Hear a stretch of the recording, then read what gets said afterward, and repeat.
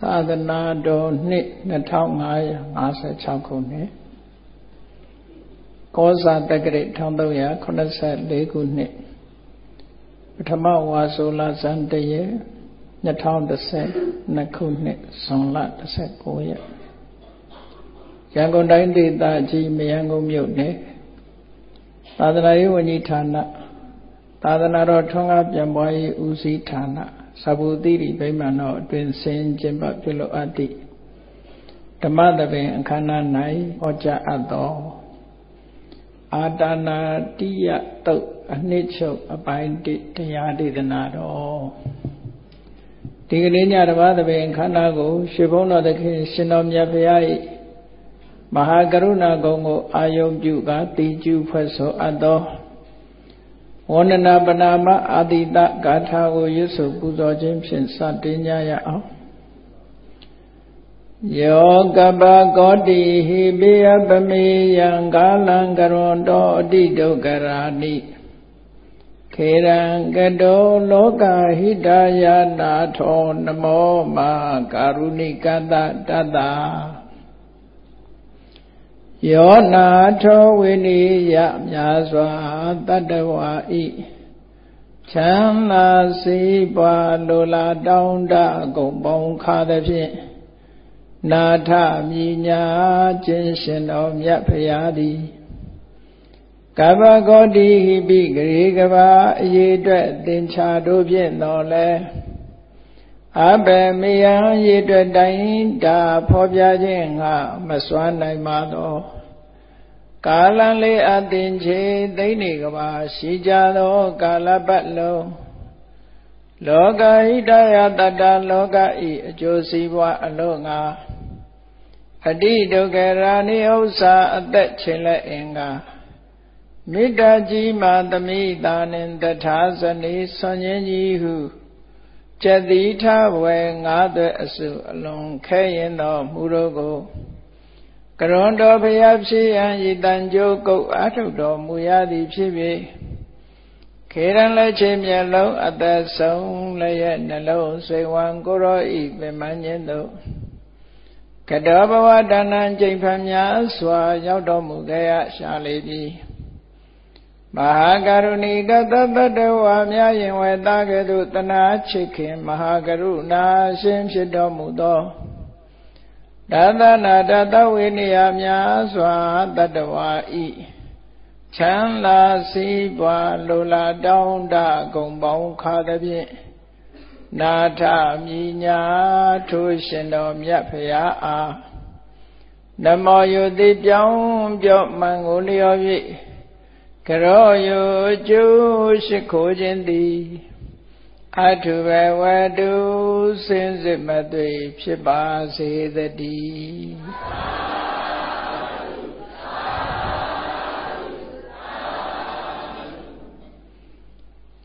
အာတာနာတိယတုတ်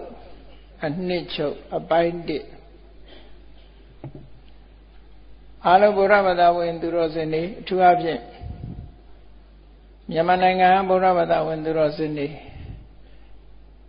ငယ်စဉ်တောင်ကြီးကလေးဘွားကပရိတ်ကြီး17တုပ်ဆိုတာသင်ယူကျက်မှတ်ခဲ့ကြတယ်အဲဒီပရိတ်ကြီး17တုပ်ထဲမှာအာတာနာတိယတုပ်ဆိုတာအပါအဝင်တစ်ခုဖြစ်ပါတယ်ပရိတ်ကြီး17တုပ်ထဲမှာပါတဲ့အာတာနာတိယတုပ်ကမူရင်းတုပ်ကို reform လုပ်ထားတာ မူရင်းတုပ်တော့မဟုတ်မူရင်းတုတ်ထဲကအချို့ကိုယူပြီးတော့နေ့စဉ်နဲ့နေ့စဉ်ဘဝမှာရွတ်ဖတ်တဲ့ဇယ်လို့ကောင်းအောင်လို့ဆိုပြီး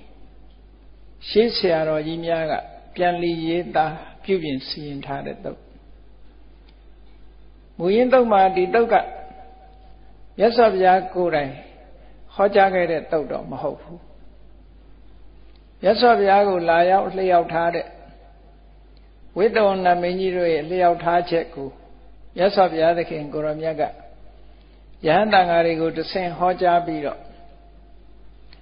ဒီတုတ်ကိုလက်လက်လေးလာကျက်မှတ်ပြီးတော့သင်ယူကြအကျိုးရှိတယ်လို့မြတ်စွာဘုရားသခင်ကိုရောမြတ်ကတိုက်တွန်းခဲ့တာဖြစ်တယ်အဲ့ဒီအတ္တနာရိယတုတ်တကယ်တော့ ဝိတ္တဝနမင်းကြီးကလျှောက်ထားခဲ့တဲ့ဘုရားဘာသာဝင်သူတော်စင်တို့တဲ့အကာအကွယ်အဆောင်အရှောက်ဖြစ်ဖို့ရာအတွက်ပြန်တန်းကြီးတစ်ဖွဲ့ဖြစ်တဲ့တုတ်တံပဲဖြစ်တယ်ပရိတ္တလို့ဆိုတာ protection ပဲမမြင်ရတဲ့အန္တရာယ်တွေကာကွယ်ဆောက်ရှောက်ဖို့ဆိုပြီးအထူးအားဖြင့်မြတ်စွာဘုရားဟာ ပရိတရားကိုဟောတဲ့အခါမမြင်ရတဲ့အန္တရာယ်တွေကာကွယ်ဖို့ဆိုရည်ရွယ်ချက်နဲ့ဟောတာအဲလိုမမြင်ရတဲ့အန္တရာယ်တွေကိုကာကွယ်ဖို့ဆိုတဲ့နေရာမှာမေတ္တာကိုအသုံးပြုပြီးတော့ကာကွယ်တဲ့နေသစ္စာစကားကိုဆိုပြီးတော့ကာကွယ်တဲ့နေဘုရားကုံတရားကုံတန်ခါကုံကိုအာယုံပြုပြီးတော့ပွားများအားထုတ်ခြင်းဖြင့်ကာကွယ်တဲ့နီးလို့ဆိုတဲ့ဒီနီးတွေနဲ့ မြတ်စွာဘုရားဟာအတွင်းကြကြအန္တရာယ်တွေမရောက်ရအောင်လို့ဆိုပြီးတော့ပရိတရားတော်တွေကိုဟောကြားခဲ့တာဖြစ်တယ်။ထိုပရိတရားတော်တွေဟာတိဒပရိဒပါဠိဆိုတာအနေနဲ့တော့မရှိဘူး။ထိုထိုသုတ်တန်တွေမှာရှိတာကိုစုပေါင်းထုံနှုတ်ပြီးတော့ဒီကနေ့ခေတ်မှာတော့ပရိကြီး17တုပ်ဆိုတာအတီဖြစ်နေလေရဲ့ရှိတယ်ပေါ့ ဗြိတိရှခေတ်ကမြန်မာရဲ့ဒီဘယင်စနစ်ကုံဆုံးသွားပြီးတော့နောက်ဗြိတိရှခေတ်ရောက်လာတဲ့အချိန်ပိုင်းမှာသာသနာပိုင်းဗြိတိရှခေတ်တန်ဃာတွေကတင်မြောက်တဲ့သာသနာပိုင်းဆိုတာတောင်ခွင်သာသနာပိုင်းလို့ခေါ်တယ်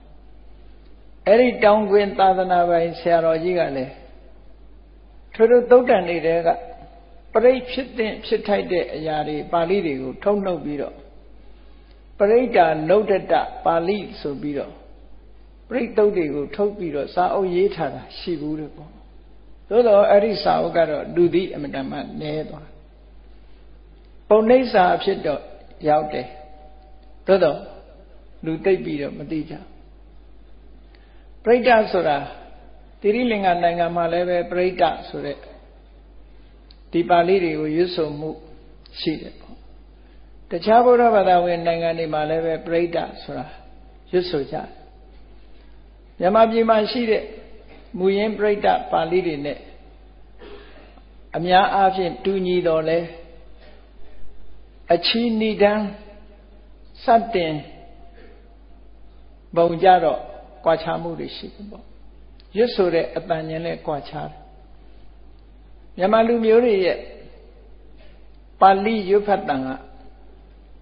တခြားနိုင်ငံကပါဠိရွတ်ဖတ်တန်နဲ့မတူဘဲနဲ့ကွဲပြားနေတယ်တခြားနိုင်ငံတွေထေရဝါဒနိုင်ငံဂျန်နဲ့လေးနိုင်ငံပေါ့သီရိလင်္ကာတို့ထိုင်းကမ္ဘောဒီးယားလာအိုဆိုရယ်အဲ့ဒီနိုင်ငံတွေရဲ့ပါဠိရွတ်ဖတ်ပုံအတန်က တူကြတော်တော်လေးဆင်မြန်မာတနိုင်ငံနဲ့ပဲအတန်ကွဲပြားနေအဲ့လိုအတန်ကွဲပြားတာဘယ်သူကမှန်တယ်လဲဘယ်သူကမှားတယ်လဲလို့တော့ပြောเสียအကြောင်းမရှိဘူးပေါ့သို့တော့ဒီကနေ့ခေတ်မှာ international pronunciation ဆိုပြီးတော့ကဘာကရွတ်ဖတ်တဲ့အတန်ကတော့မြန်မာပြည်ကအတန်မျိုးမဟုတ်ဘူးเนาะ အများရွတ်ဖတ်နေတဲ့တခြားနိုင်ငံတွေမှာရွတ်ဖတ်တဲ့အတန်နဲ့မြန်မာနဲ့ကွဲပြားမှုတော့ရှိအတိပ္ပယ်အပြင်ကွဲပြားတာမဟုတ်ဘူးအတန်တွေကွဲပြားတာဒီအတန်တွေကွဲပြားတာဟာဒါပြဿနာမဟုတ်ဘူးအင်္ဂလိပ်စကားလုံးကိုပဲဖတ်တဲ့အခါမှာအတန်တွေတွေဟာတူညီတာမှမဟုတ်တာ ကြည့်လေအခုခေတ်လေးလာကြည့်မယ်ဆိုရင် British English နဲ့ American English ပဲလေးလာကြည့်ပေါ့အတန်တွေတူမှမတူတာမတူတဲ့နေရာတွေအများကြီးရှိတယ်မတူတာပြဿနာမဟုတ်အတိပ္ပယ်မမှားတာပြဿနာအတိပ္ပယ်မှန်ကန်ရမယ်မတူတာကတော့ရှိတယ်သူရှာနဲ့သူအာနဲ့ဒီလိုရွတ်တာအပြစ်ပြောစရာလည်းမရှိဘူးနော်အပြစ်ပြောစရာလည်းမရှိဘူးစကလုံးမညီမတူလို့ ဘယ်သူမှလည်းဗမာစကားအင်္ဂလိပ်ပြောကြည့်ပါလားအင်္ဂလိပ်ပြောတဲ့ဗမာစကားဝဲတက်တက်ဖြစ်နေမှာပေါ့နော်တခါတလေပြောတော့ပြောကြသေးတယ်ဗြိတိရှလူမျိုးတွေဗမာစာသင်တဲ့အခါမှာအာရှာကိုမထိန်နိုင်တဲ့အခါကျတော့ဘာပြောကြတော့ဆိုအာဆရာနဲ့တွေ့ရတာသိဝမ်းသာပါတယ်လို့ပြောရမယ့်အစားဆရာနဲ့တွေ့ရတာသိဝမ်းသွားပါတယ်လို့ဖြစ်သွားနော် သိဝမ်းသာပါတယ်ကသိဝမ်းသွားပါတယ်ဖြစ်သွားဒါမျိုးကတော့ဖြစ်တတ်တာပေါ့နော်အာရှာမထိန်နိုင်တဲ့အခါကျတော့ဒါအပြစ်လားလို့ဆိုအပြစ်မဟုတ်ပါဘူးဗမာပြည်လားလေရတာပြောပါတယ်လို့ဆိုတာပြောရမယ်အစားဗမာပြည်မှာပြောပါတယ်ဆိုဖြစ်သွားတယ်မထိန်နိုင်တော့အဲ့တော့ဗမာစကားကိုသူတို့ပြောတဲ့အခါမှာလည်းပဲအာရှာမထိန်နိုင်တဲ့အခါကျတော့ လွန်ကဲသွားတာမျိုးရှိတာပေါ့အဲ့တော့လို့ပဲမြန်မာလူမျိုးကအင်္ဂလိပ်စကားပြောတဲ့အခါမှာလည်းဒါမျိုးတွေရှိကောင်းရှိနိုင်တယ်ပေါ့သို့တော့မတူညီတာကိုအကြောင်းပြုပြီးတော့သူကမှန်တယ်ငါကမှားတယ်ဆိုတဲ့အငင်းပွားစရာဘာမှအကြောင်းမရှိဘူးနော်သူလူမျိုးသူအာသူရှာနဲ့ရွတ်တယ်ဒိဗေမှတ်မှုအရေးကြီးတယ်အဲ့တော့တိရိလင်္ကာတို့တခြားနိုင်ငံတွေမှာရွတ်မယ်ဆိုရင်သူတို့က အတန်တစ်မျိုးနဲ့ရွတ်တယ်ပေါ့မတူညီတဲ့စကားလုံးအတန်ဟာ၅မျိုးပဲရှိတာပါ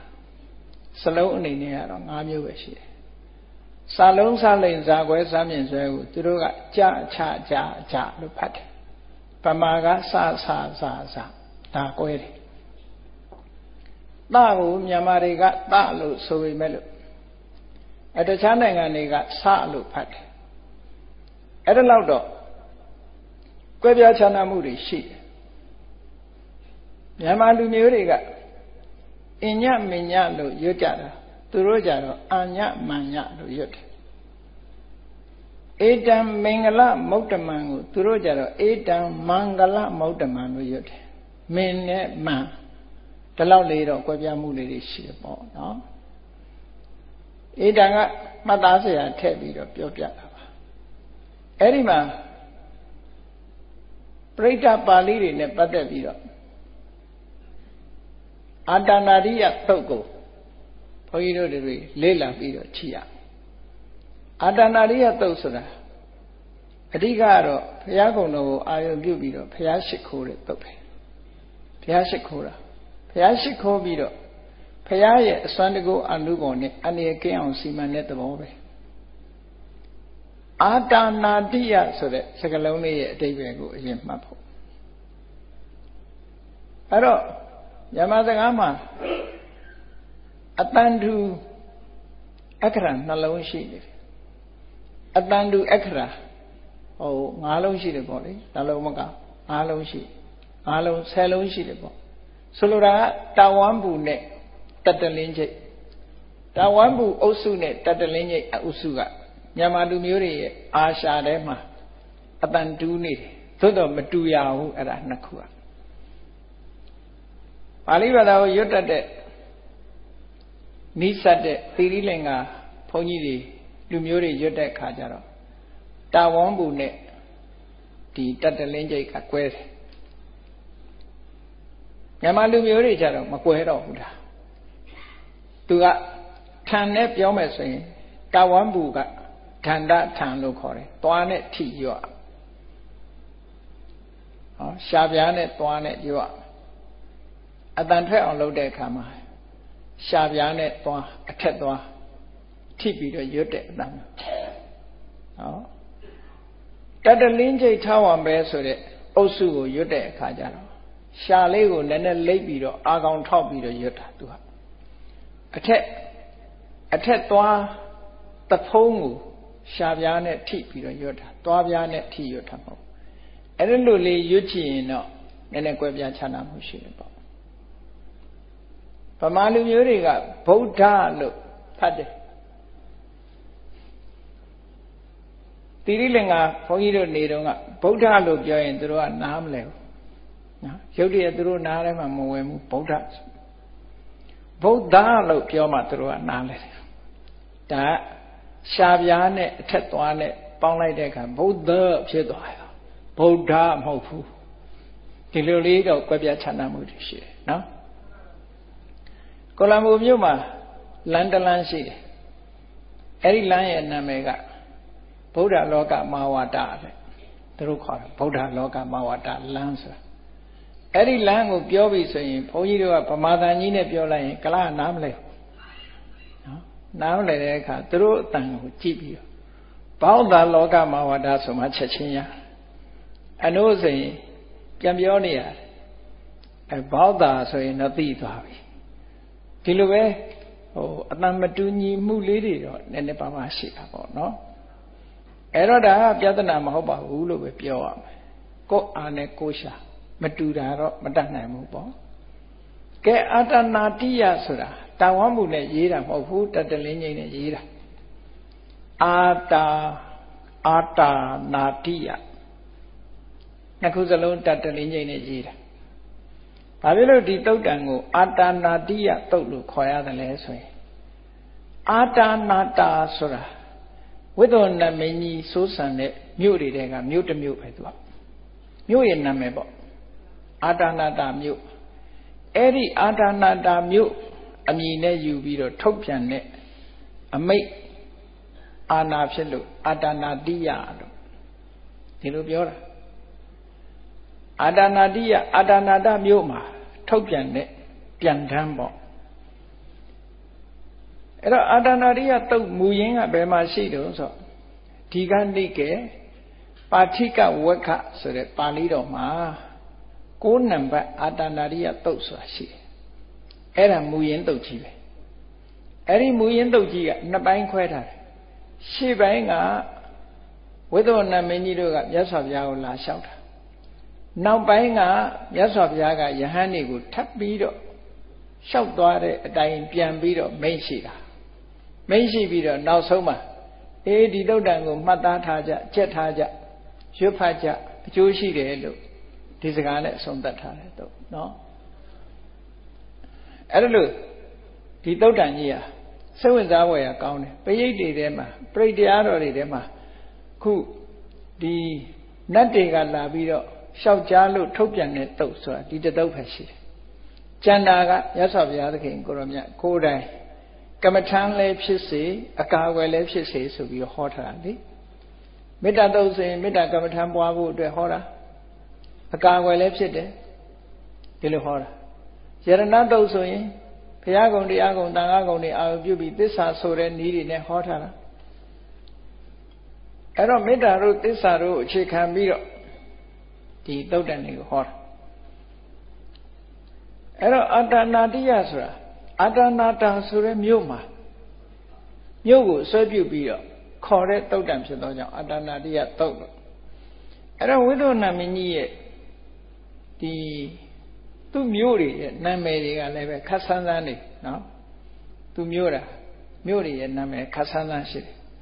အဲ့ဒါကိုအဲ့ဒီတုတ်တန်မူရင်းတုတ်တန်ထဲမှာဒီမြို့နာမည်တွေကိုဖော်ပြထားတာရှိတယ်တတ္တသနဂရာအဟုဝိတ္တနာမင်းကြီးမှာသူ့မျိုးတော်တွေရှိတယ်တဲ့အန္တလိတ်ခေသူ့မှာပိတာကောင်းကင်ယံမှာဖန်ဆင်းထားတဲ့တီထောင်ထားတဲ့မျိုးတွေရှိတယ်တဲ့ဘာမျိုးတွေလဲလို့ဆိုရင် အာတာနာတာကုတိနာတာပရကုတိနာတာ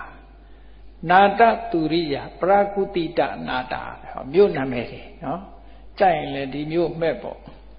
အာတာနာတာတဲ့မြို့တစ်မြို့ကနောက်မြို့တစ်မြို့ကကုတိနာတာတဲ့နောက်တစ်မြို့ကပရကုတိနာတာတဲ့သူကနာတာဆိုတာကိုတော့သဘောကျပုံရတယ်ကြာနောက်တစ်မြို့ကတော့နာတသူရိယာတဲ့ နောက်တစ်မြို့ကပရကုတိတနာတာတဲ့နော်တိပိဋကတရားဆရာတော်ဘုရားကြီးရွတ်ထဖတ်တာကြားဖို့ကြပါလိမ့်မယ်အာတာနာတာကုတိနာတာပရာကုတိနာတာနာတသူရိယပရာကုတိနာတနာတာဆိုတာအဲ့ဒါဝိသောနာမင်းကြီးတည်ထောင်ထားတဲ့မြို့တွေပဲအဲ့ဒီမြို့တွေတဲ့အာတာနာတာဆိုတဲ့မြို့မှာထုတ်ပြန်လို့အာတာနာတိယလို့ခေါ်တာ အဲအာလကမန္တာဆိုတာသူ့ရဲ့မြို့တော်ရာဇဌာနီနေပြည်တော်ပေါ့ဝိသောနာမင်းကြီးရဲ့နေပြည်တော်ကအလကမန္တာလို့ခေါ်တယ်။ကောင်းပြီဒါဒီတုတ်တန်နာမည်ခေါ်ပုံကိုဒါရှင်းပြပြတာ။အဲ့တော့ပရိကြီး17တုံမှာတော့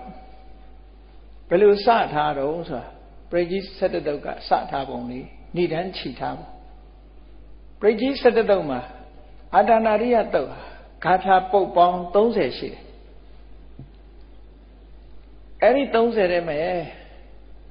ပရိတ်ပြိုးလို့ခေါ်ရမယ်ဒီပရိတ်တော်ဖြစ်ပေါ်လာပုံရဲ့ဏိဒန်းကို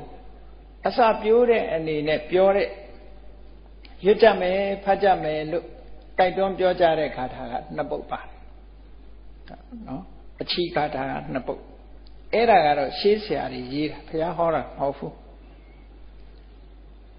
နောက်တစ်ခါဝိတ္တဝနာမင်းကြီးတို့ကဘုရားရှိခိုးခါထာတွေဖော်ပြတာက6ခုခါထာပေါင်း6ပုဒ်နောက်ဘုရားအားလုံးကိုရှိခိုးတာကြတော့ရှေးဆရာတော်တွေကစီမံပြီးတော့ဖြည့်ဆွတ်ပြီးတော့ထည့်ထားတာအဲ့ဒါကရှစ်ပုတ်တခါအာတိတဆန္ဒပြုပြီးတော့ဆုတောင်းတာအာတိတပြုတာအဲ့ဒါကလေးပုတ် ဘုရားတွေရှိခိုးပြီးတော့ဆန္ဒကိုထုတ်ဖော်တာဆုတောင်းတာနောက်တစ်ခါနာမည်ကြီး၄ယောက်နဲ့ပတ်သက်ပြီးတော့နာမည်ကြီး၄ယောက်ဟာဆောင်းလျှောက်ပါသေးဆိုတဲ့အာတိတကိုဖော်ပြတာက6ကထာတခါနတ်အားလုံးကဆောက်ရှောက်ပါစေလို့အာတိတပြုတာကတခါသာသနာဆောင်နတ်မင်းကြီးတွေကဆောက်ရှောက်ပါစေလို့အာတိတပြုတာကတခါဂါထာတခါထာ နောက်ဆုတောင်းတာကဂါထာတခါထာရှ िख ိုးရခြင်းအကျိုးဖော်ပြတာကတကားထာဆိုအလုံးဂါထာပေါင်း30ရှိတယ်ဒါက analyze လုပ်ပြတာဖွဲ့စည်းထားပုံလေးကိုပြောတာအတ္တနာရိယတုတ်ကိုဒီသူတေသနာလှုပ်ကြည့်မယ်ဆိုလို့ရှိရင်အတ္တနာရိယတုတ်ဖွဲ့စည်းထားပုံကအဲ့ဒီပုံစံနဲ့ဖွဲ့ဒါက မောဒန်အတ္တနာရိယတုတ်လို့ပြောခြင်းပြောပေါ့ခဏိခေတ်မှာခေတ်စားနေသို့တော်မြတ်စွာဘုရားလက်ထက်ကမူလတုတ်ကြီးကတော့ဒီပုံစံမဟုတ်ဘူးခါထာတွေနဲ့ယူရမဟုတ်ဘူးသို့တော်မူလတုတ်ကြီးတဲ့ကဒီထဲမှာဘယ်နှခါထာပါတော့ဆို6ခါထာပဲပါကျန်တဲ့ဂါထာတွေကဖြည့်ဆွက်ပြီးတော့တင့်တင့်လျှောက်ပတ်အောင်ဖြည့်ဆွက်ရေးသားထားတယ်ဖြည့်ဆွက်ရေးသားထားပြီးနေ့စဉ်ရွတ်ဖတ်တဲ့အခါမှာအမှန်တမ်းအဆင်ပြေတယ်ပေါ့ ဆုတောင်းမေတ္တာပို့တဲ့ဂါထာတွေနဲ့ရေးထားတာဒါမို့အာတန္တရိယတုတ်လေ့လာမှုတဲ့ပုဂ္ဂိုလ်တွေဒါတွေသိပြီးသားပဲပေါ့အဲ့တော့စပြီးတော့အချီအနေနဲ့ပြောကြမယ်လို့ဆိုလို့ရှိရင်ပထမဆုံးကအပတန်နေဟိနာထတသာသနေသာဓုတမတေအမနုသေးဟိစန္ဒေဟိတဒါကိဗ္ဗိတကာရိဘိ ပရိသနံစတတနံအာဟိန္တာယသဂௌတိယယံဒေတိတိမဟာဝီရောပရိဒံတံဗနာမဟေဒီနဂါထာကအတ္တနာရိယတုတ်ကိုရွတ်ကြပါစို့ဆိုပြီးတော့အဆုတ်ပြုတဲ့ဂါထာနှစ်ခုအချီဂါထာလို့လည်းပြောတာပေါ့အဲ့တော့ဒီထဲမှာရည်ရွယ်ချက်တွေကဖော်ပြထားတာအမှန်တမ်းမှတ်သားစရာကောင်းတယ် အပတန်နေဟိနာထတသာသနေတာဓုတမတိဒီမှာနာထဆိုတာအလုံးကိုယ်ဝေလေးစားရတဲ့မြတ်စွာဘုရားအဲ့ဒီမြတ်စွာဘုရားရဲ့သာသနာမြတ်စွာဘုရားရဲ့သာသနာနာထတသာသနေတာထုတမတိသူတော်ကောင်းတွေကအလွန်မြတ်နိုးတဲ့မြတ်စွာဘုရားရဲ့သာသနာတော်မှာသာသနာတော်ကိုတဲ့နော် နာထတသာသနေတာရုတမတိတာရုတမတိသူတော်ကောင်းတွေကအလွန်မြတ်နိုးတဲ့နာထတသာသနေမြတ်စွာဘုရားသာသနာတော်အပေါ်မှာအပတန်နေဟိမကြည်ညိုကြတဲ့အပတန်နေဟိမကြည်ညိုကြတဲ့စန္ဒေဟိစိတ်ကြမ်းကိုချမ်းခက်ထန်ကြမ်းညုတ်ကြတဲ့တရားကိဋ္တကာရိပိ အမြဲမပြတ်ရက်ဆက်ချမ်းကြုတ်ပြီးတော့မကောင်းတာတွေကိုလှုပ်လိရှိကြတဲ့အမနုဿေဟိနတ်ဆိုးဘလူးဆိုးတွေကတဲ့ဒီလိုအဓိပ္ပာယ်ရတယ်နော်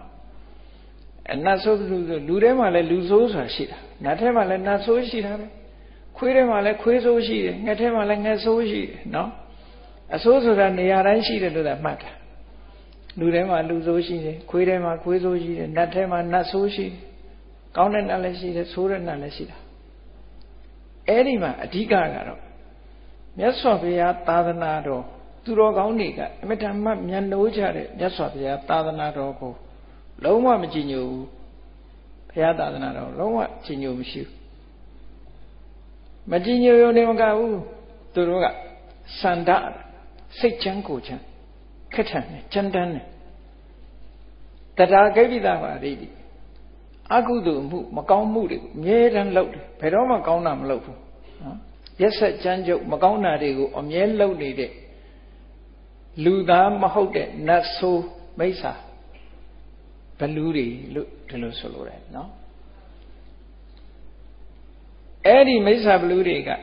ပရိတဏ္ဏစတတ္တဏ္ဏမြတ်စွာဘုရားရဲ့တပည့်ပရိသတ်၄မျိုးဘိက္ခုဘိက္ခုနီဥပဒကဥပတိက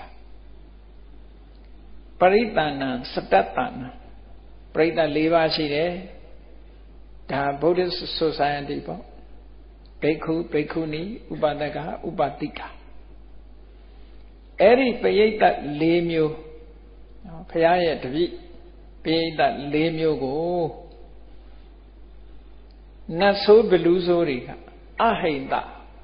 မညှင်းဆဲဖို့အတွက်ဂௌတိယ အန္တရာယ်ကင်းပြီးတော့လုံခြုံရေးအတွက်တဲ့ဒီတုတ်တန်ကိုဟောတာပါဒီလိုဆိုလို့တယ်နော်ယန္တေသေးတိမဟာဝီရောပြိဋ္ဌံတံပနာမဟိဒီနေရာမှာကြီးမြတ်သောလုံလရှိတော်မူတဲ့မဟာဝီရကြီးမြတ်သောလုံလရှိတော်မူတဲ့မြတ်စွာဘုရားဟောကြားတော်မူခဲ့တဲ့အာတနာရိယတုတ်ကိုတို့တွေရွတ်ဆိုကြဆိုလားလို့ ဒီလိုဆိုလိုတာပေါ့ပရိဒံပနာမဟေပရိဒံတံပနာမဟေဒါရွတ်ဖတ်30ဖို့ရာအတွက်ဟိုတိုက်တွန်းနှိုးဆော်လိုက်တဲ့စကားပဲကိုတယောက်တည်းရွတ်ရင်တော့ဒါလှုပ်เสียမလို့ဘူးပေါ့နော်ကိုတယောက်တည်းကြတော့ဟိုပြန်ပြောင်းဆိုမဲ့ဆိုရင်ပရိဒံတံပနာမဟံငါရွတ်တော့မယ်လို့ဒီလိုပဲပြောရင်ပြောလို့ရတယ် သို့တော်လည်းပဲစာအုပ်ထဲမှာရှိတဲ့အတိုင်းပရိဒံတံပနာမဟေဆိုကိုတယောက်တည်းရွတ်လဲပနာမဟေဘယ်သူမှလာမရွတ်ဘူးเนาะတကယ်ကတော့ပြောနေတာနဲ့လုပ်နေတာတခြားစီဖြစ်တတ်တယ်ပေါ့နော်မသိတော့လည်းကိစ္စမရှိဘူးပေါ့လေအတိတ်တွေကအဲ့တော့ဆိုလိုတဲ့အဓိပ္ပာယ်လေးတွေကလည်းအမှန်တမ်းရှင်းတယ်နော်နာထတကိုးကွယ်ဒီတာရုတမတိသူတော်ကောင်းတွေကအလုံးကိုမျက်နှိုးတဲ့နာထတသာသနီ မြတ်စွာဘုရားသာသနာတော်မှာအပတန်နေဟိကြီးညိုစိတ်မရှိကြတဲ့စန္ဒီဟိအလွန်ကြမ်းတမ်းခက်ထန်တရားကိပိတကာရိပိအမြဲမပြတ်မကောင်းတဲ့အမှုတွေကိုပြုလုပ်ကြတဲ့အမနုသိဟိဘီလူတို့ကပရိသဏံစနတဏံမြတ်စွာဘုရား၏တပိပရိသတ်၄ပါးတို့အား၄မျိုးတို့အားအဟိန္တာမညှင်းဆဲဖို့အတွက်ဂௌတိယသူတို့ရဲ့လုံခြုံရေးအတွက်တဲ့ယန္တေသေတိမဟာဝီတော်ပရိဒံတမနာမဟိ ရှင်တော်မြတ်ဖရာဟောကြားတော်မူခဲ့တဲ့အကာအကွယ်ပရိတ်ကိုရွတ်ဆက်ရွတ်ဖတ်ကြစို့သူတော်ကောင်းအပေါင်းတို့လို့ဒီလိုတိုက်တွန်းတဲ့စကားလေးတခုဒီနေရာမှာမြတ်စွာဘုရားကထပ်ဆင့်ဟောထားတာဖြစ်သောကြောင့်ဘုရားဟောတယ်လို့ပြောတာနော်ဘုရားဟောတယ်လို့ပြောတာသို့တော်လည်းပဲပထမမူရင်းကတော့မြတ်စွာဘုရားဟောတာမဟုတ်ဘူးကဲဒီတုတ်တံဖြစ်ပေါ်လာပုံလေးက မြတ်စွာဘုရားသခင်ကိုရမြတ်ကရာဇဂုပတ်ဝန်းကျင်မှာတောင်ကြီး၅လုံးရှိအဲ့ဒီတောင်၅လုံးထဲမှာတောအကြောင်းနေအလွန်များတဲ့ခိစကုတ်တောင်ခိစကုတ်တောင်မှာမြတ်စွာဘုရားသတင်းသုံးတယ်ဒီခိစကုတ်တောင်ကသမိုင်းကြောင်းကနော်မြတ်စွာဘုရားလည်းအဲ့ဒီမှာမကြမကြသတင်းသုံးတဲ့နေရာရဟန္တာရှင်မြတ်တွေလည်းမတော်မတာအတော်သတင်းသုံးကြတဲ့နေရာတွေပဲ အဲ့ဂိစကုတ်တောင်ကဒေဝရကကြောင်မောင်းဆင်ပြီးတော့လှိမ့်ချတာလည်းအဲ့ဒီတောင်မှာပဲလေဂိစကုတ်တောင်အဲ့ဒီဂိစကုတ်တောင်ပေါအောင်ကလည်းတရက်တစီအမတန်ပေါ်တယ်နဲ့တူတယ်ကိတ္တာတွေကလည်းအဲ့နာပဲများတာပဲရှင်မမောက္ကလန်တွေ့တဲ့ထူးဆန်းတဲ့တရားကြီးတွေဆိုဂိစကုတ်တောင်ကအစင်တွေ့တာတွေကြီးပဲများတယ်အဲ့ဒီနာမှာလောကကုံမီငရဲအိုးကနေနှလုံးကနေဖြတ်စည်းလာတော့ ရေဘူးစမ်းကြီးတစ်ခုဖြစ်ပေါ်လာတယ်တပေါ်တာဆိုမြစ်အဲ့ဒီမြစ်ကလည်းပဲအဲ့ဒီနာလေးကတော့ကုံမီငယ်အိုးကြီးနှစ်ခုကြားကဖြတ်စီလာလို့ရေဘူးဖြစ်လာတာရေဘူးဖြစ်လာတာနောက်ရေဘူးဆန်းရှိတဲ့နေရာငရဲအိုးနဲ့နီးတယ်လို့သာမှတ်ထားပြီအဲ့ဒီမှာဖြတ်စီလာတဲ့နေရာမှာအခုလည်းပဲရှိတာပဲအဲ့မှာရေဘူးဆန်းရှိတာ အဲ့တော့ဘေးစကုတ်တောင်ပြိတ္တာတို့တဆေတို့တရေတို့အမတမပေါ်တယ်လို့ဆိုကြတယ်ငယ်ငယ်တုန်းကရည်စရာပြောတာနော်တော်တဲ့ဥစဉ်ကြီးတစ်ပါးပြောတယ်သူတည်လို့ရှိရင်လိပ်စာပေးခဲ့မယ်တဲ့ခိစကုတ်တောင်ဆောင်ညမ်းမယ်အောက်လို့နော်ခိစကုတ်တောင်ဆောင်ညမ်းမယ်အောက်အဲ့တော့ ခိစကုတ်တောင်ဆိုတာတရေတစီမတန်ပေါ်တဲ့နေရာမဟုတ်ပြိတ္တာတွေပေါ်တဲ့နေရာအဲ့တော့အဲ့ဒီမှာမြတ်စွာဘုရားသခင်ကိုရမြတ်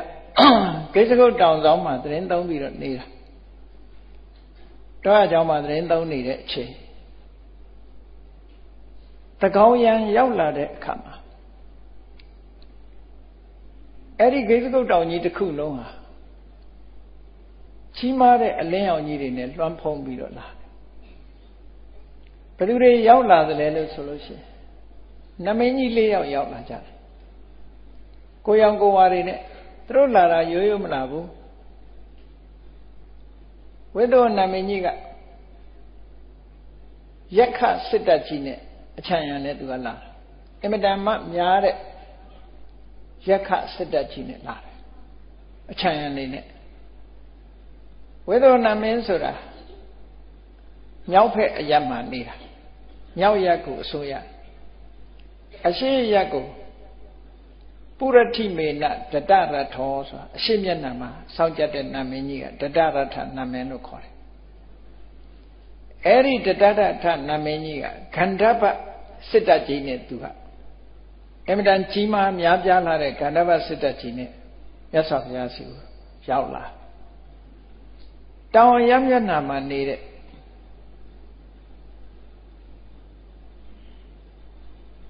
ဝိရုလက္ခနမင်းကြီးကသူကကုံဗန္ဒဆိုတဲ့အတော်အယုတ်ဆိုးတဲ့ထွန်းကြိုင်ရက်စကြမ်းကြုတ်တဲ့အကောင်ကြီးတွေအဲ့ဒီကောင်ကြီးတွေကုံဗန္ဒစစ်တပ်ကြီးနဲ့သူကခြံရံပြီးတော့မြတ်စွာဘုရားစီရောက်ပါအနောက်မျက်နှာကို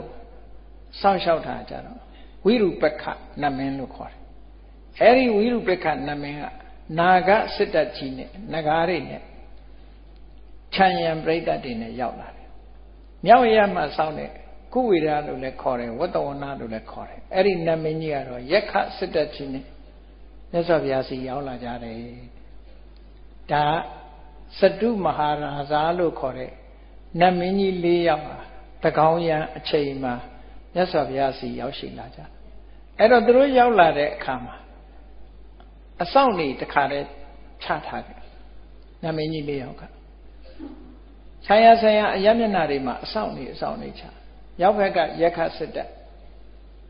အရှိဘက်ကခန္ဓာဘစစ်တပ်တောင်ဘက်ကကုံဗန္ဒစစ်တပ်အနောက်ဘက်ကနာဂစစ်တီတွေနဲ့ဒီလို ရောက်ရှိပြီးတော့လာအဲ့ဒါလို့လာပြီးတဲ့အခါမှာ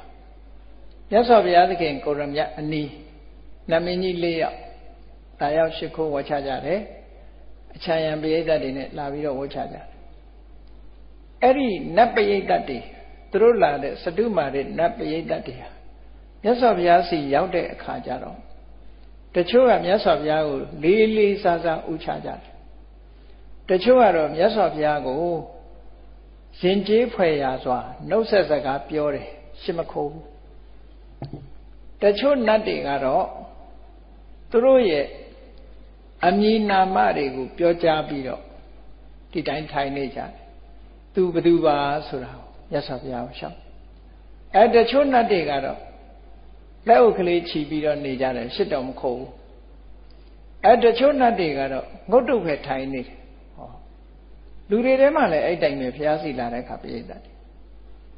အဲ့ဒီလိုပြိဿတ်၅မျိုးဖြစ်သွားတယ်နံပါတ်1ပရိသတ်ကဘုရားကိုချီညိုတဲ့ပရိသတ်တွေမြတ်စွာဘုရားကိုရှ िख ိုးဝတ်ချပြီးတော့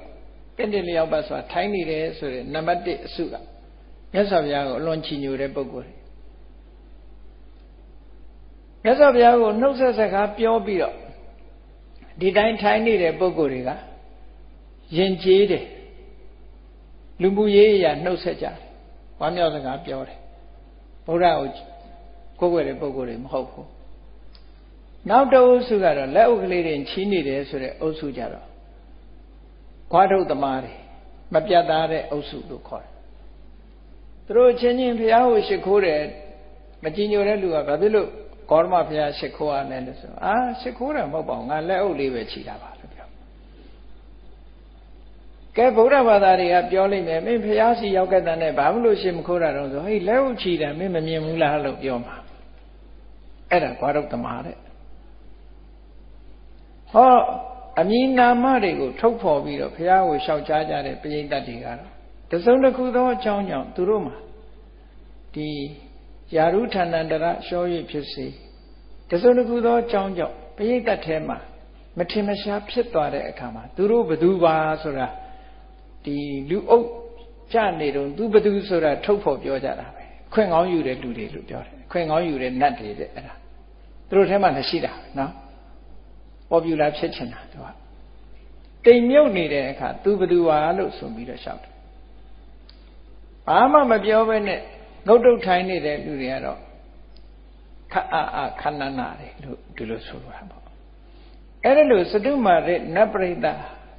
ငါးမျိုး꿰ပြပြီးတော့ မြတ်စွာဘုရားရှေ့မှာထိုင်နေတယ်တဲ့အဲ့ဒီအချိန်မှာဝိသောနမင်းကြီးကခေါင်းဆောင်ပြီးတော့ရှောက်တယ်မြတ်စွာဘုရားကိုရှောက်တယ်အရှင်ဘုရားတဲ့ရက်ခတွေနဲ့ပတ်သက်ပြီးတော့ရှောက်တယ်တပည့်တော်တို့ရက်ခ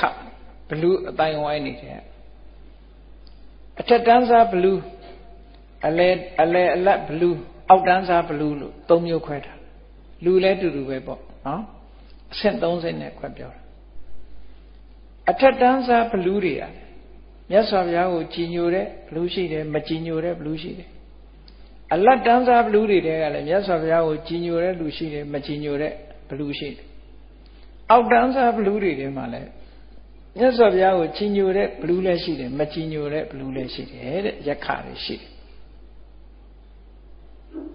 အဲ့ဒီယက္ခဆိုတာတခါတခါနတ်ကိုပြောတာနော် ဗမာပြည်မှာတော့ဘလူးလို့ဆိုလို့ရှိရင်ကြောက်စရာအယုတ်ကြီးကိုလုံးပြတာအိန္ဒိယနိုင်ငံရောက်တဲ့အခါကျတော့ကရကတာပြတိုက်ကိုသွားကြည့်ချင်ကျုံတဲ့အခါကရကတာမြူဇီယံဆိုရှိအဲ့ဒီမှာယက္ခတို့ယက္ခိနီတို့သူတို့ဘာသာစကားနဲ့ဘယ်လိုရေးထားတော့ဆို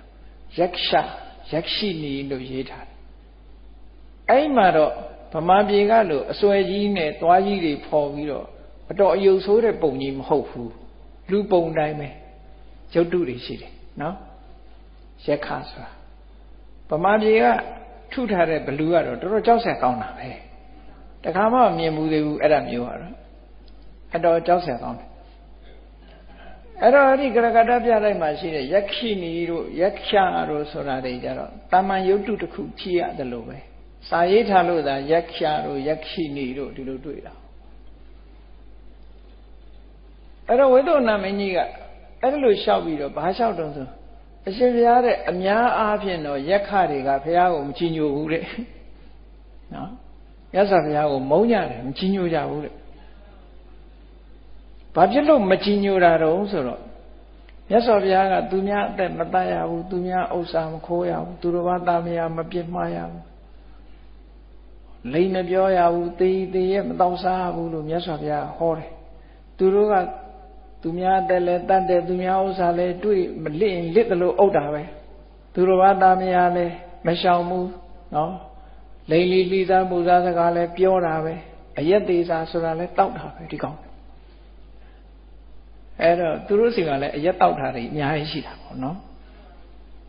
အဲ့ဒါလို့ငါးပါးသီလမလုံညာဘူးတဲ့မြတ်စွာဘုရားကရှောင်ဖို့ဟောတော့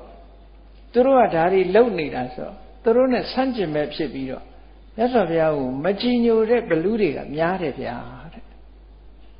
ဒီလိုလျှောက်တာသူလျှောက်တာနော်မကြည်ညိုတာတွေကများတယ်တဲ့အဲ့တော့အဲ့ဒီထက်မဲ့မြတ်စွာဘုရားရဲ့တပိသားတာဝကတွေဟာတရားဓမ္မကျင့်ကြံကြိုးကုပ်အထုတ်ဖို့လို့ဆိုတဲ့လူသူမနီတောမြိုင်ကြီးတွေထဲမှာဝင်ရောက်ပြီးတော့တိတပင်ရင်ဝါရပင်အောက်မှာ တပါးဒီကိန်းအောင်ပြီးတယောက်တည်းနေပြီးတရားဓမ္မကျင့်နေကြတာရှိတယ်အဲ့ဒီတောတွေထဲမှာလည်းပဲဘလူးတွေရှိတတ်တယ်တဲ့အုပ်စိုးနေတဲ့ဘလူးတွေရှိတတ်တယ်အဲ့ဒီရှိနေတဲ့ဘလူးတွေဟာရန်လိုပြီးတော့မြတ်စွာဘုရားရဲ့တပိတာဝကတွေဘိက္ခုဘိက္ခုနီဥပဒကဥပတိကမ္မတွေညှင်းဆဲနိုင်ပါတယ်တဲ့မကြည်ညိုကြတော့သူတို့ဒီလိုညှင်းဆဲတတ်ပါတယ်တဲ့ အဲ့ဒါလို့ညှင်းဆဲလာလို့ရှိရင်မညှင်းဆဲရအောင်ဆိုပြီးတော့တပိတော်ကဟောဒီအတ္တနာတိယရက်ခလို့ဆိုတဲ့အယံအတားတစ်ခုတပိတော်ထုတ်ပြန်ပါတယ်အဲ့ဒါကိုမြတ်စွာဘုရားမှတ်သားတော်မူပြီးတော့ယဟန်တန်ဃာတွေကိုလေ့လာခိုင်းပါကြက်မှတ်ခိုင်းပါလို့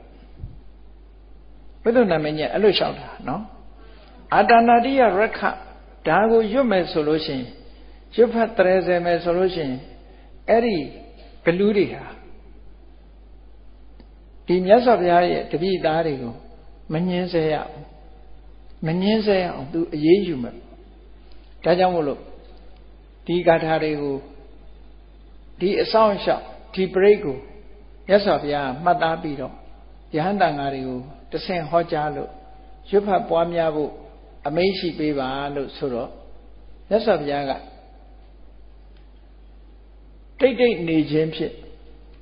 ဝိသုနာမင်းကြီးရဲ့လျှောက်ကြားချက်ကိုလက်ခံလိုက်တယ်အဲ့ဒီမှာသူကအတ္တနာရိယပြိတ်ကိုမြတ်စွာဘုရားကိုလျှောက်တာပေါ့အဲ့ဒီလျှောက်တဲ့ထဲမှာအခုဒီပရိကြီး၁၇တုတ်ထဲမှာပါတဲ့အတိုင်းပဲ6ဂါထာကတော့အဲ့ဒါမြတ်စွာဘုရားကိုလျှောက်တဲ့ဂါထာတွေပဲ ပါရီတုံးဆိုသူလျှောက်တဲ့ဂါထာပေါင်းကအလုံး90နဲ့2ဂါထာရှိတယ်နော်90နဲ့2ဂါထာနဲ့သူလျှောက်တယ်သို့တော့ဒီအတ္တနာရိယတုတ်မှာယူထားတာတော့90နဲ့2ဂါထာမဟုတ်ဘူးအခုဒီပြိတ်ထဲမှာယူထားတာတော့6ဂါထာလောက်ပဲယူထားတယ်အဲ့ဒီသူပထမဆုံးလျှောက်တဲ့ဂါထာတွေကဘာလို့ဆိုဘုရားရှိခိုးဂါထာတွေ ဝိပသိတ္တသနမတ္ထုသက္ခုမန္တတတိရိမတောတိခိတာပစ္ဆနမတ္ထုသဗ္ဗဗုဒ္ဓနုကံပိနောဝိတဗုဒ္ဓသနမတ္ထုနှာတကတ္တတပတိနောနမထုကကုတန္တတမာရသေနာပမတ္ထိနောကောနာခမနတနမထုဗျမနတဝုတိမတောကတ္တပတ္တသနမထုဝိပမုဒ္ဒတတပတိစတဲ့ခါထာတွေကို လျှောက်ကြားတာပေါ့အဲ့ဒါလို့လျှောက်ကြားပြီးတဲ့အခါကျတော့သူတို့အုပ်ဆိုးတဲ့အယတ်ဒေတာတွေအကြောင်းကိုထုတ်ဖော်ပြီးတော့ဂါထာတွေနဲ့လျှောက်သေးတယ်အရှိရကဘသူအုပ်ချုပ်တယ်တောင်ရကဘသူအုပ်ချုပ်တယ်အနောက်ရကဘသူအုပ်ချုပ်တယ်မြောက်ရကဘသူအုပ်ချုပ်တယ်ဆိုတာနမင်းကြီး၄ယောက်အသီးသီးအုပ်ချုပ်တဲ့အရက်တွေကိုထုတ်ဖော်ပြီးတော့နတ်တွေကိုသူတို့အချင်းချင်းမှာဘာလုပ်တုံးဆို နောက်ဆုံးပိတ်ခါထားလေးကဖះကိုရှ िख ိုးခိုင်းတာဘလူတွေခန္ဓပတွေကုံပန္ဒတွေနာဂတွေအကျံပဋ္ဌာန်းနေသူတို့ကရက်ဆက်တဲ့အကောင်းတွေအသူတို့မိကုန်းတွေထုတ်တာဂါထာလေးတစ်ခုပါစိနံဝန္တထဂေါရမံအောင်တော်မူတဲ့ဂေါရမမြတ်စွာဘုရားကိုမင်းတို့ရှ िख ိုးချရဲ့လားမိကုန်းထုတ်အောင်ထိုးတဲ့အခါခေါ ဒီလိုမိကုန်းထုတ်လိုက်တဲ့အခါမှာဖြေချရတာသူတို့ကစိနံဝန္နာမဂေါရမံအောင်တော်မူတဲ့ဂေါရမမြတ်စွာဘုရားကိုကျွန်တော်တို့ရှ िख ိုးကြပါတယ်ဟာစိနံဝန္တထဂေါရမံစိနံဝန္နာမဂေါရမံဝိဇ္ဇာစရဏတမ္ပဏံဗုဒ္ဓံဝဏမဂေါရမဝိဇ္ဇာစရဏနဲ့ပြည့်စုံတော်မူတဲ့ဂေါရမမြတ်စွာဘုရားကိုကျွန်တော်တို့ရှ िख ိုးကြပါတယ်လို့ဒီလိုပြန်ပြီးတော့ဖြေခိုင်းတယ်အားလုံးရှ िख ိုးကြရလားရှ िख ိုးကြပါတယ် ဆိုတာကိုပြန်ဖြေခိုင်းတယ်သူအဲ့ဒါလို့အရာလေးမျက်နှာမှာရှိကြတယ်သူတို့အုပ်ချုပ်တဲ့နယ်ပယ်အတွင်းမှာရှိတယ်ဒီခန္ဓာပနတ်တွေကုံဗန္ဒတွေနာဂတွေယက္ခတွေဒါတွေကိုသူ့တိုင်းသူပြည်သားတွေပေါ့လက်အောက်ခံနတ်တွေကိုရှ िख ိုးခိုင်းတယ် မေးမြန်းစစ်စစ်ပြီးတော့သူတို့ဖြေခိုင်းတယ်အဲ့ဒါလို့ရှ िख ိုးပါတယ်လို့ဒီလိုဖြေခိုင်းပြီးတော့ကာထာပေါင်း90နဲ့နှစ်ကာထာနဲ့ရှောက်ကြားပြီးတော့နောက်ဝိသုဏမင်းကြီးကဘာဆက်လျှောက်တုံးဆိုအရှင်ဘုရားတဲ့အရှင်ဘုရားရဲ့တပိတာဝကတွေဘိက္ခုပဲဖြစ်ဖြစ်ဘိက္ခုနီပဲဖြစ်ဖြစ်ဥပဒကပဲဖြစ်ဖြစ်ဥပတိကမပဲဖြစ်ဖြစ် ဒီဟောဒီအတ္တနာရိယတုတ်ကိုဒီအဆောင်လျှောက်ကိုအခုသူတို့လျှောက်ထားတဲ့အတိုင်းရွတ်ဖတ်တရေဆယ်နေမယ်ဆိုလို့ရှိရင်တဲ့ရွတ်ဖတ်တရေဆယ်တဲ့အရှင်ဘုရားရဲ့တပည့်တွေကိုဘလူပဲဖြစ်ဖြစ်ခန္ဓာပပဲဖြစ်ဖြစ်ကုံမန္နပဲဖြစ်ဖြစ်နာဂပဲဖြစ်ဖြစ်ဘယ်လိုအကောင်မျိုးပဲဖြစ်ဖြစ်သူတို့လက်အောက်ခံဒီနတ်မိတ်ဆာတွေက အနီးနားမှာထိုင်နေတာကိုကတ်ထိုင်တယ်မဟုတ်တာလုပ်ဖို့သွားနေရင်နောက်ကနေနောက်အောင်ခံလိုက်တယ်အိတ်နေရင်အနားနားမှာထိုင်နေတယ်ဒီလိုတခုခုလှုပ်ဖို့အကွက်ချောင်းနေတာတွေတွေ့ပြီဆိုလို့ရှိရင်တဲ့သူတို့ကိုအပြစ်ဒဏ်တွေခတ်မယ်နော်အပြစ်ဒဏ်တွေခတ်အဲ့ဒါလို့နောက်ကနေချောင်းပြီးတော့လိုက်နေတာမျိုးတွေ ခန္ဓာပါပဲဖြစ်ဖြစ်ဂုံမနာပဲဖြစ်ဖြစ်နာဂပဲဖြစ်ဖြစ်ယက္ခပဲဖြစ်ဖြစ်ဒီအတ္တနာရိယပြိတ်ကိုရွတ်ဖတ်တရေစေတဲ့ရသော်ဘုရားသခင်ကိုရမြတ်ရဲ့တပိတာဝကတွေနှိမ့်ဆက်ညှဉ်းပန်းမှုမကောင်းတဲ့ရွယ်ချက်နဲ့လုံနေပြီဆိုလို့ရှိရင်သတင်းပို့ရမယ်တဲ့ဒီကောင်ချောင်းနေပြီဒီကောင်နောက်ကနေလိုက်နေတယ်ဒီကောင်အနန္တကတ်နေပြီဒီဖရာရဲ့တပိသားကိုသူညှင်းဆဲဖို့လုံနေတယ်တော့မဟုတ် ဝင်ပူးနေတယ်ဒီကောင်နော်ညှင်းဆဲနေတယ်ဝင်ပူးနေတယ်ဒုက္ခပေးနေတယ်ဆိုတာကိုသတင်းပို့ရမယ်တဲ့သတင်းပို့ကြပါလိမ့်မယ်တဲ့သူအဆောင်နေချထားတာတွေကသတင်းပို့ကြလိမ့်မယ်တဲ့အဲ့ဒီသတင်းပို့တဲ့အခါသူတို့ကိုပြစ်ဒဏ်ခတ်အဲ့ဒီမှာသတင်းပို့တဲ့အခါမှာအဲ့ဒီလိုမဟုတ်တာလုပ်ဖို့စိတ်ကူးနေပြီဆိုလို့ရှိရင်တဲ့အမိတ်ပြန်ထားတာရှိတယ် နတ်မင်းကြီး42ယောက်ရှိတယ်သူတို့ခေါင်းဆောင်ကြီးတွေ42ယောက်နတ်မင်းကြီးတွေရဲ့လက်အောက်ခံကသေနာပတိကြီးတွေအဲ့ဒီအကြီးဆုံးကတော့28ယောက်အလုံးပေါင်းတော့42ယောက်ကို तू ကတိုင်တန်းရမယ်အဲ့တိုင်တန်းရမယ်နတ်တွေထဲမှာဘယ်သူပါတော့ဆိုလို့ရှိရင်ဗိမိတာရမင်းကဖြစ်သွားတဲ့ဆနဝတ္တပဆိုတဲ့နတ်မင်းကြီးတွေပါ ဟေမဝတ္တတို့တာတာဂိရတို့ဆိုတဲ့ဟေမဝတ္တတုံမှလာတယ်ဟေမဝတ္တနတ်မင်းနဲ့တာတာဂိရနတ်တို့လည်းပါတယ်ပုံနကတို့လည်းပါတယ်နော်ကိဏုခန္ဓုတို့နိခန္ဓုတို့ဆိုတဲ့နတ်တွေလည်းပါတယ်မဟာသမယတုတ်ထဲမှာပါတယ်သူတို့နာမည်တွေ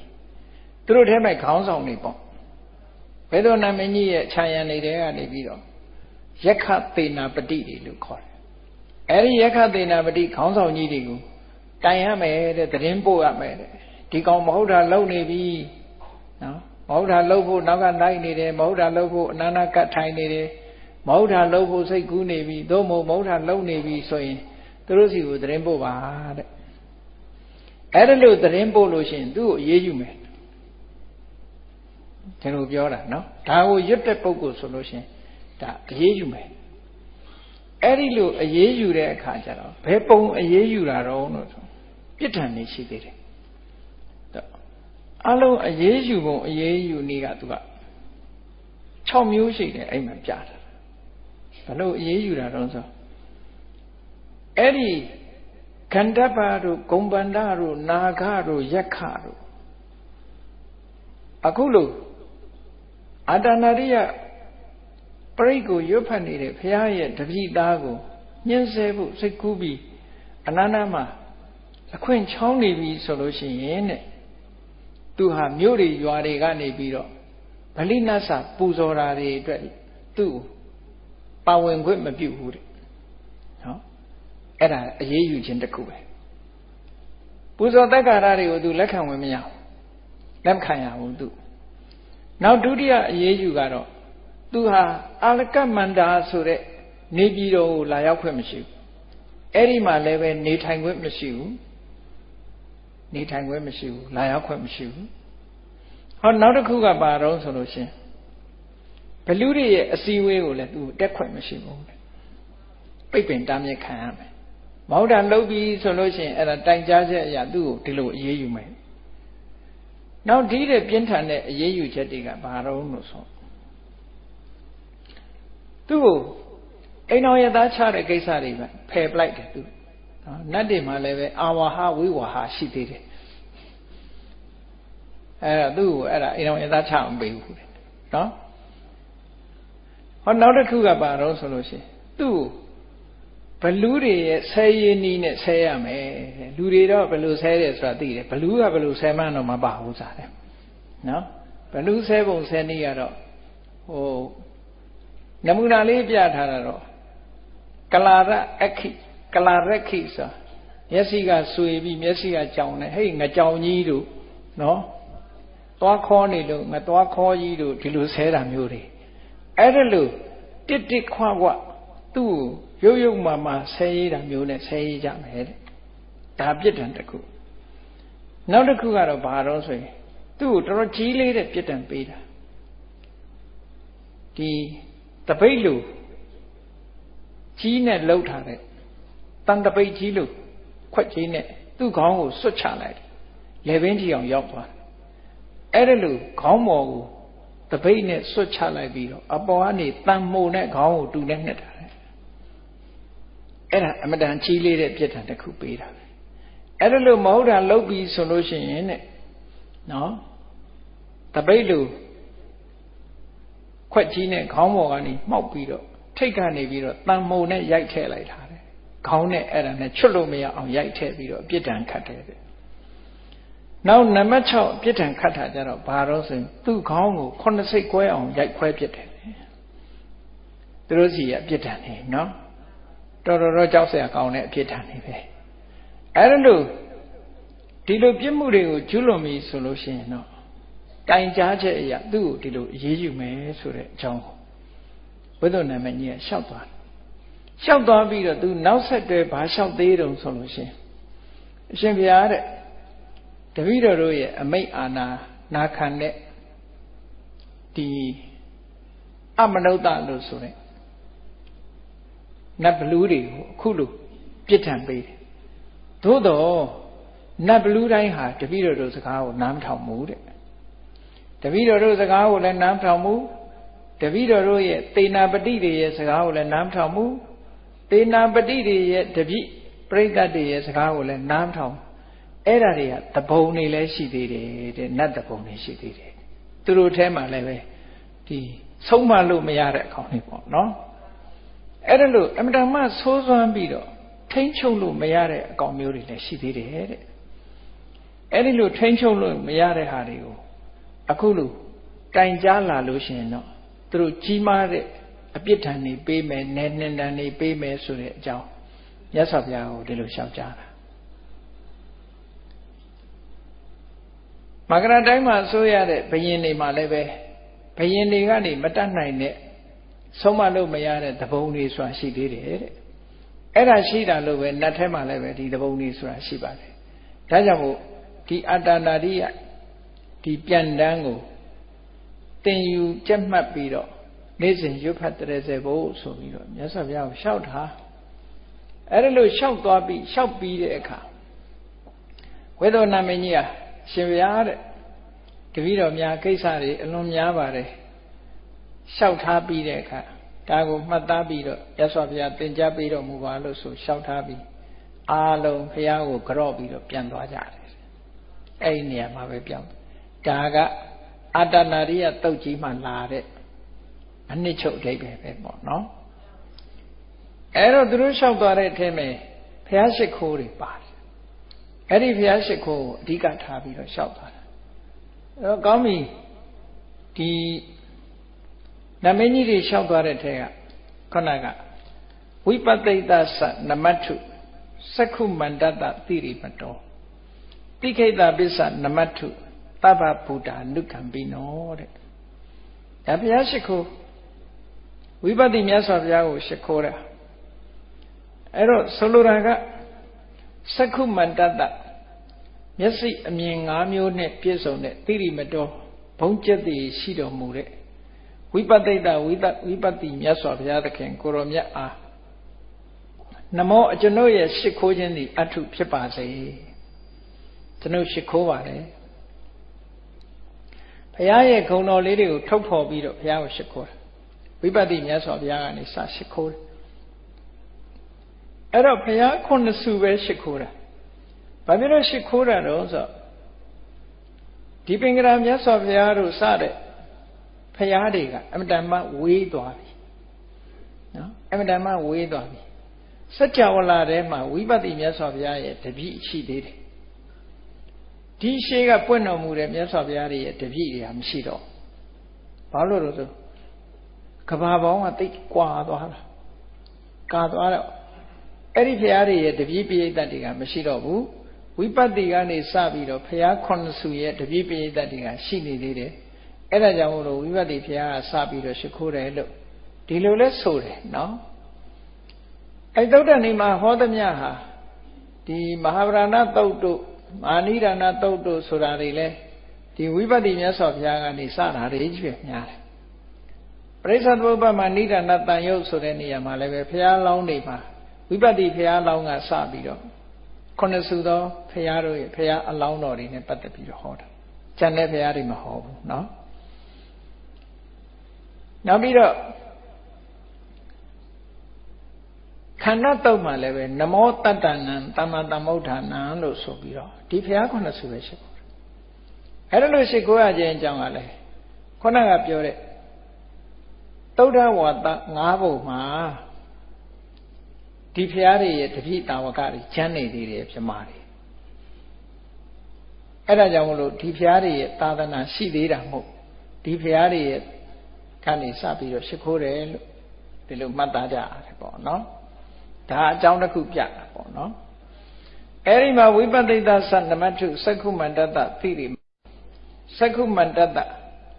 မျက်စိ၅ပါးနဲ့ပြည့်စုံတော်မူတဲ့တိရိမတော်ဘုံကျက်တည်ရှိတော်မူတဲ့ဝိပဿိတသဝိပဿိမြတ်စွာဘုရားအားပဲနမောအထုရှ िख ိုးမှုဖြစ်ပါစေရှ िख ိုးပါတယ်လို့ဘယ်လိုဆိုတာဒါဝိပဿနာမြတ်စွာဘုရားဆိုတာ 60နဲ့တကဘာဒီကဘာကနေပြန်ပြီးတော့တွက်လိုက်လို့ရှိရင်60နဲ့တကဘာမှာပွင့်ခဲ့တယ်ဗဒ္ဒကဘာကနောက်ပြန်ရေတွက်လို့ရှိရင်60နဲ့တကဘာမြောက်မှာဝိပဿနာမြတ်စွာဘုရားပွင့်ခဲ့လူတွေရဲ့တတန်အဲ့ဒီချိန်တုန်းက8000တန်းပေါ့8000တန်းမှာဝိပဿနာမြတ်စွာဘုရားပွင့်တော်မူခဲ့တယ်အဲ့ဒီဝိပဿနာမြတ်စွာဘုရားရဲ့ဂုံတော်ကျေးဇူးတော်တွေကိုအာယုံပြုပြီးတော့ အဲ့ဒီမြတ်စွာဘုရားဥညွတ်ယူချိုရှိခိုးပါတယ်လို့ဘုရားကိုရှိခိုးတာဖော်ပြတယ်သက္ခုမန္တမျက်စိ၅မျိုးဆိုတာအလုံးကြားဖို့ကြလိမ့်မယ်နော်ဒိဗ္ဗသက္ခုတဲ့ပဂရိကတော့မန္တသက္ခုလို့ခေါ်တယ်ပဂရိသက္ခုကမန္တသက္ခုမန္တသက္ခုရဲ့ဒိဗ္ဗသက္ခုရဲ့အဘိညာဉ် တမန္တစက္ခုတမန္တစက္ခုဆိုတာတဝိညုတဉာဏ်ကိုခေါ်တာဗုဒ္ဓစက္ခုအိန္ဒရိယပရောပရိယတိဉာဏ်နဲ့အာတယနုတယဉာဏ်ကိုခေါ်တာပညာစက္ခုသစ္စာလေးပါးနဲ့သိတဲ့သိပညာကိုခေါ်တာအဲ့ဒါလို့မျက်စိ၅ပါးဘုရားရှင်တွေမှာအမြင်မျက်စိ၅မျိုးပဂတိမန္တစက္ခုလည်းရှိတယ်တမန္တစက္ခုလို့ဆိုတဲ့တပ္ပညုတဉာဏ်လည်းရှိတယ် ဗုဒ္ဓစက္ခုလို့ခေါ်တဲ့အာတယနုတယဉာဏ်အိန္ဒရိယပရောပရိယတိဉာဏ်လည်းရှိတယ်ဓမ္မစက္ခုလို့ဆိုတဲ့မဉ္ဇဉ်၄ပါးနဲ့ပတ်သက်တဲ့ဉာဏ်လည်းရှိတယ်ပညာစက္ခုလို့ဆိုတဲ့အသိပညာနဲ့ပတ်သက်တဲ့မျက်စိရှိတယ်လို့အားလုံးပညာမျက်စိ၅မျိုးလို့ဘုံကျက်သိနဲ့ပြည့်စုံပြီးပညာဆက်မျက်စိ၅မျိုးရှိတော့မျက်စိ၅မျိုးနဲ့ပြည့်စုံတဲ့ဝိပဿနာမြတ်စွာဘုရားအား ကျွန်ုပ်ရဲ့စိတ်ခိုးမှုဖြစ်ပါစေလို့ဒီလိုဆိုတာဟောနောက်တစ်ပါးသားကြတော့တိခိတ္တာပိစနမတ္ထုတပ္ပဗုဒ္ဓလူကံပိနောတိခိမြတ်စွာဘုရားဆိုတာ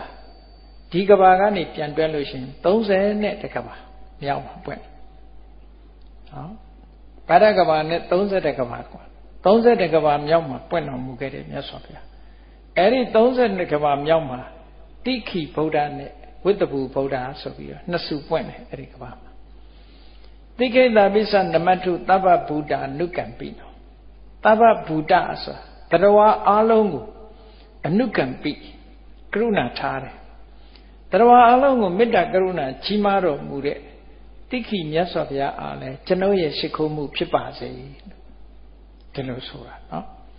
အဲ့ဒီတိခိမြတ်စွာဘုရားကအသက်9000တန်းမှာလူတွေရဲ့တက်တန်း9000တန်းမှာပွင့်တယ်နောက်တစ်ခါထားကြတော့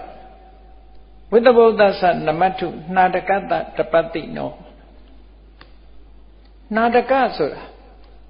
စေကြောတန်းစင်တာနာတကလို့ခေါ်တယ်လူတွေရဲ့ခန္ဓာကိုယ်မှာအညစ်အကြေးတွေဆွဲကပ်နေရင်ရေနဲ့စေကြော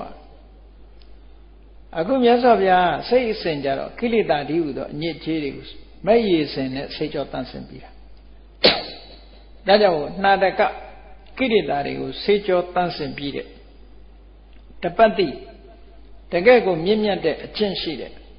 ဝိသဘုဒ္ဓဆာဝိသဘူမြတ်စွာဘုရားအားလည်းနမောကျွန်ုပ်ရဲ့ရှ िख ုံးမှုဟာအထုဖြစ်ပါစေလို့ဒီလိုဆိုတာ နောက်တစ်ခါနမထုကကုတန္တတမာရတိနာပမတ္တိနောအဲ့ဒီမှာဝိသဘူမြတ်စွာဘုရားကြတော့လူတွေရဲ့တက်တန်း6000တန်းမှပွင့်တယ်တဖြည်းဖြည်းရောလာတဲ့သဘောလေးကိုပြတာဒါပေမဲ့လို့အစဉ်တိုင်းတော့မဟုတ်ဘူးเนาะ8000တန်းမှာဝိပဿနာမြတ်စွာဘုရားပွင့်တယ်9000တန်းမှာတိခိမြတ်စွာဘုရားပွင့်တယ်6000တန်းမှာဝိသဘူမြတ်စွာဘုရားပွင့်တယ် နောက်ကကုတ္တန္တမြတ်စွာဘုရားဆိုတာဒီဗဒ္ဒကဘာမှာပထမဆုံးပွင့်တဲ့မြတ်စွာဘုရားပဲနမတုကကုတ္တန္တတမာရတိနာပမတ္တိနောမန်စတိကိုချိုးနှိမ်အောင်မြင်ပြီးဖြစ်တဲ့ကကုတ္တန္တမြတ်စွာဘုရားအားနမောကျွန်ုပ်ရဲ့ရှ िख ုံးမှုကအထုဖြစ်ပါစေလို့ဒီလိုဆိုတာပေါ့အဲ့ဒါလို့ဖရာတွေကိုရှ िख ိုးတာတွေ ဒီအတ္တနာရိယတုတ်မှာမြတ်စွာဘုရားတွေကိုရှ िख ုံးမှုကိုဖော်ပြတာအဓိကအဲ့တော့ဒီအတ္တနာရိယပရိတ်ရဲ့အနှစ်ချုပ်ကဘာလဲလို့ဆိုရင်ဘုရားကုံတရားကုံသံဃာကုံတွေကိုရှ िख ိုးတာဒါအဓိကပဲလို့ဒီလိုမှတ်နော်ဒါကြောင့်မို့အဲ့ဒီကာတာလေးတွေကိုရွတ်တဲ့အခါမှာအာယုံပြုပြီးတော့ဘုရားတရားတန်ခါယရဏသုံးပါးကိုရှ िख ိုးတယ်မြတ်စွာဘုရားတွေကိုရှ िख ိုးခြင်းဖြင့်ဒီမိမိတို့ရဲ့ကုသိုလ်ဆောင်အားနဲ့ အယံတားတွေဖြစ်လာဘုရားကုံကိုအာယုပြုလိုက်တဲ့အခါကျတော့ကိုယ့်ရဲ့စိတ်ဆင်ကြည်လင်ပြီးတော့မြတ်စွာဘုရားရဲ့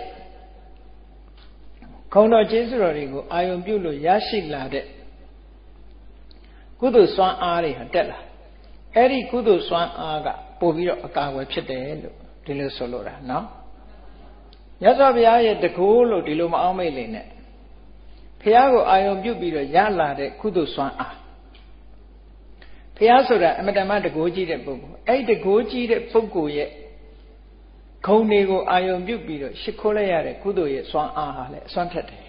။တာမန်အစွမ်းမဟုတ်ဘူး။နော်။အခုကြည့်လေစွမ်းအားဆိုတာသိချာစဉ်းစားကြည့်။စွမ်းအားကူးစက်မှုဆိုတာရှိတယ်လေ။နောက်ဆုံးမှာ တတိတယောက်နဲ့ယဉ်နှီးတယ်ဆိုရင်အထိုက်တဲ့ဆိုတာစွမ်းအားရှိတာလူကြီးတယောက်နဲ့ယဉ်နှီးတယ်ဆိုလဲစွမ်းအားတစ်ခုရှိတာစွမ်းအားဆိုတာရှိတယ်ဒီလိုဟာကိုပြောတာနော်စွမ်းအားဆိုတာသူကတက်လာအဲ့တော့မြတ်စွာဘုရားရဲ့ဂုဏ်တွေကိုအာရုံပြုလာတယ်ရရလာတဲ့ကုသိုလ်ရဲ့စွမ်းအားဆိုတာတမန်ကုသိုလ်စွမ်းအားနဲ့မတူဘူးပေါ့သို့တော်လည်းအဲ့ဒါကိုဘုရားရဲ့တကိုးအာနာပါဝါလို့တွားတွက်လို့ရှိရင်ဘာဖြစ်တုံဆိုရင်နတ်ကိုးကွယ်တာမျိုးလို့ဖြစ်သွားတတ်တယ် အဲ့ဒါလို့မဟုတ်ဘူးဘုရားဘာသာရဲ့အယူဆမြတ်စွာဘုရားရဲ့ဟောပြောချက်တရားဓမ္မရဲ့အနှစ်သာရကုသိုလ်ကောင်းမှုရဲ့အရှိန်အဝါကိုဆိုလိုတယ်ဒီလိုမှတ်ရမယ်နော်အေးဒါကြောင့်မို့လို့ဝိပဿိတသနမထုသက္ခုမန္တတတိရိမတောတိခိတပစ္ဆနမထုသဗ္ဗဗုဒ္ဓနုကံပိနောဝိသဘုဒ္ဓသနမထုနာရကတတပတိနောနမထုကကုတ္တနတမာရတေနပမတိနောဆိုတဲ့ ဂါထာလေးကိုရွတ်ရင်ရွတ်ရင်နဲ့မြတ်စွာဘုရားရဲ့ခုံအည်သွေးလေးတွေအာယုန်ထဲမှာရောက်အောင်ရှိခိုးပြီးတော့ရွတ်ကြမယ်ပူဇော်ကြမယ်ဆိုလို့ရှိရင်ဧကံဒိဋ္ဌကုတ္တနာမှာကုသိုလ်တရားတွေဖြစ်ပွားပြီးတော့ထိုကုသိုလ်တွေရဲ့စွမ်းအားနဲ့ကိုယ်ညှင်းဆဲတဲ့ပုံကိုယ်တွေလည်းမညှင်းဆဲနိုင်တော့ဘူးလုံခြုံခြင်းဆိုတဲ့အကျိုးအာနိသင်ကိုရမှာဖြစ်တယ်လို့ကိုစီကိုစီယုံကြည်သဘောကျပြီးတော့ဘုရားနုဒတိခုံလွှမ်းထုံလာ ကျင့်ကြံကြိုးကုပ်အားထုတ်နိုင်ကြပါစေကုန်သတည်း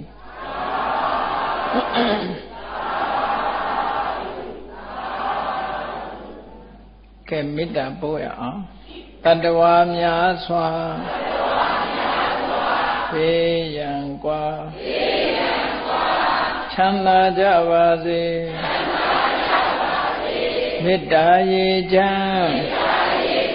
သုံးငါဖြံ ငြိမ်းချမ်းကြပါစေ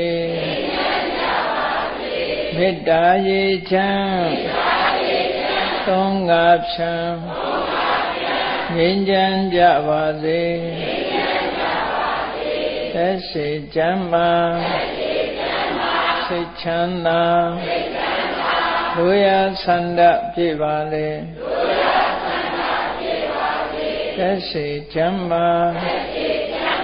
စိတ်ချမ်းသာလူရဆန္ဒပြပါစေဖုံလန္တာဒုက္ခပင်ကစားမေတ္တာပုံနေတုသင်္ကမမနောတရတိတပိတံဘဝယန္တုဒုက္ခနကမေတ္တာပုံနေတုသင်္ကမစုပေါင်းဖို့အမေတ္တာတဟုရောင်ပြူပါဝင်ငွေလာမင်းနှင့်ရောင်ခြင်းရှက်ယုံပေါင်းဆောင်ရခြင်းကြောင့် တဝိတံကျွမဲ့ဥတုံလုံးစုံများစွာတတ္တဝါတို့ဤမနောတရာတိမြင်များဖြူစင်အေးကြည်လင်းသည့်ရေစင်ပြည့်တင်းစိတ်နှလုံးတည်ဟုသော ရေအိုင်ကြီးအတွင်း၌ဒုက္ခပင်သာစင်ထာဝရအိမြကြည်သာတာယာပွင့်လန်းချမ်းသာဒုက္ခတည်ဟုသော ကုမုဒ္ဒရာဇာဗန်တို့သည်ဖုံးလန်းတဝန္တာရှင်မြူမုံလူလျက်ကြည်နူးဝဲကြုံဖူးပွင့်ညကုန်သည်ဖြစ်ပေ ဒုက္ခနကလေးအောင်လေးတဲ့ရောရှက်သိမ့်ပြပီတိဟုသောယနန်တို့သည်ဘဝယံတုကောင်းစွာမဲ့သွေကြိုင်လံ၍နေကြပါစေကုန်တည်း